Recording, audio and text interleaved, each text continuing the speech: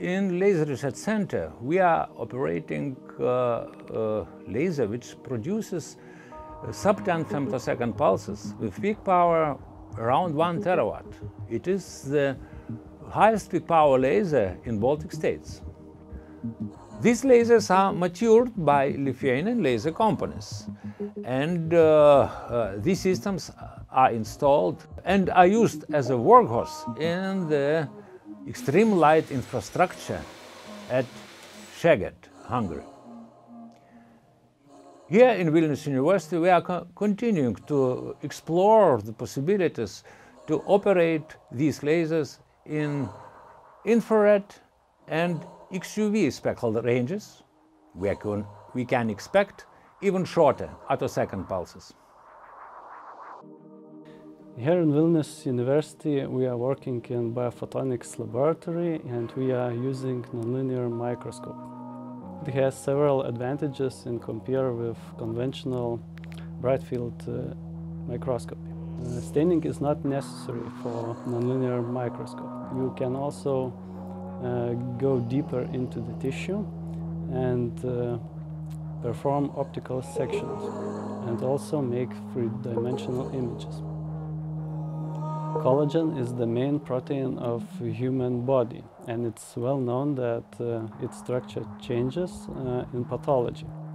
Nonlinear microscopy is able to investigate those structures, so that's why uh, it's beneficial in medicine and especially in cancer diagnostics.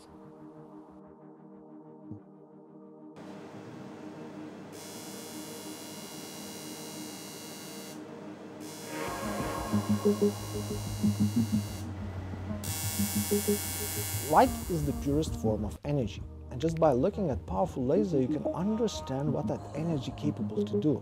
Laser drilling, welding are traditional laser machining techniques that works on a simple premise. If material can absorb light and you have a powerful light source, and you are good to go. But what happens when you have a transparent material that cannot absorb light? Then you're in trouble. Fortunately, recent advances in femtosecond laser machining changed the trend. The concept of transparent material doesn't exist for ultra-fast laser. This feature makes ultra-fast laser machining very unique. You can form precise cuts, drill micro holes, or modify material in any way you want change the optical properties or change the surface structure of the glass material and produce various photonics applications and also some micromechanical devices. At Vilnius University Laser Research Center, uh, we study and develop laser micromachining techniques and people believe that 21st century will be the century of photon, meaning the century of light. And we work in order to achieve this goal. Thank you.